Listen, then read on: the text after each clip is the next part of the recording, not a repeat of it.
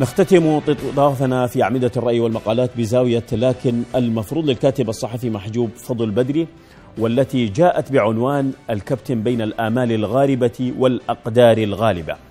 يبدأ بدري زاويته بالقول وبلادنا تمر بأسوأ أزمة اقتصادية ربما منذ مجاعة سنة ستة التي ضربت البلاد في العهد المهدوي تحت حكم الخليفة عبد الله التعايشي ومن ضعف الضبط والربط وهشاشة الدولة حينذاك لم تخرج حينها المسيرات أو تحرق الإطارات أو تخرب الممتلكات العامة والخاصة تقديرا للظروف التي تمر بها الدولة المهدية التي عانت من الحصار الخارجي الجائر والإنفاق على المجهود الحربي.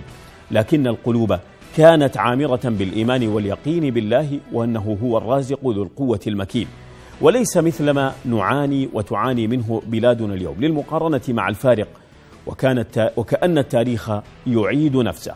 يضيف الكاتب قائلا ليس هنالك عاقل ينكر على المواطنين الخروج للشارع والاحتجاج على انعدام السلع الضرورية وليس غلاؤها فحسب مثال أن لا يكون بعضبر عاصمة الحديد والنار جوال دقيق واحد. ثم أن ثم إن السبب في انعدام الدقيق هو انعدام الجازولين اللازم لتسيير الشاحنات التي تحمل الدقيق ويقف هذا الواقع مثالا صارخا.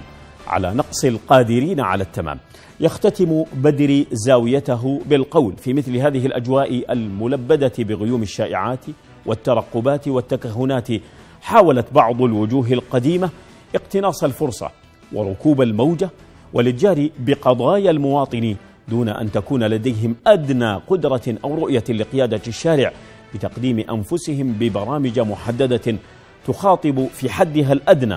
قضايا المواطن الذي أنهكه الجوع فخرج ليعبر عن عن قضيته ويطالب بالحلول العاجلة لا ليركب على ظهره عواجيز السياسة.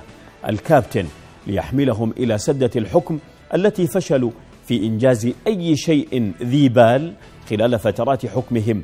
والبجرب المجرب حاقت به الندامة. وما بين الأحلام الغاربة والأقدار الغالبة يغالب الكابتن مصيرهم المحتوم بألا أمل لهم في العودة للسلطة.